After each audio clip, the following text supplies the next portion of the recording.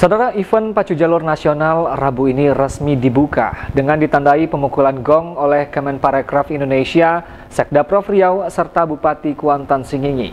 Peserta yang mengikuti event Pacu Jalur Nasional kali ini merupakan jalur terbanyak dalam sejarah event Pacu Jalur Nasional.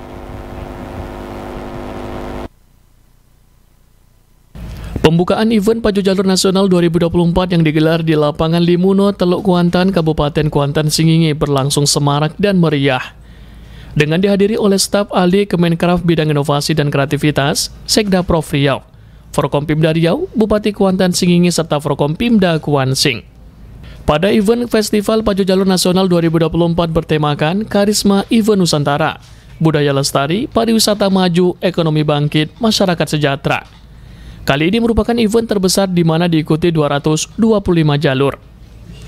Ini artinya bahwa budaya kita tumbuhnya sangat pesat.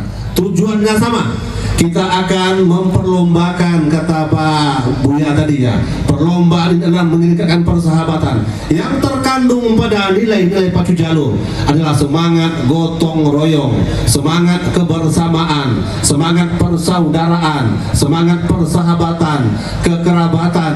Kalau bahasa orang Pansino tu ketua di kampung Badung sana ketua dirantau inilah yang merekatnya yang dirantau Pak Kapolda. Pulang semua ke Pansing. Jalan.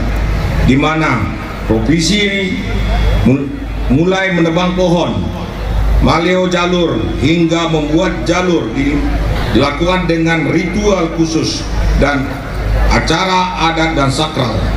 Resi ini sangat ditunggu-tunggu setiap tahunnya oleh masyarakat Riau, khususnya masyarakat Kuantan Sengingi.